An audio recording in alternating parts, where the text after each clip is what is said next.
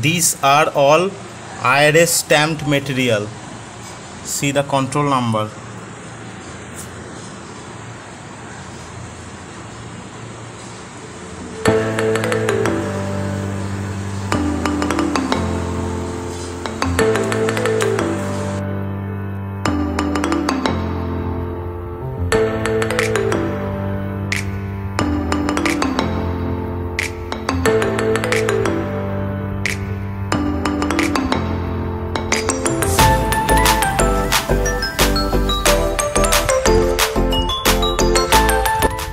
these are all stamped material by IRS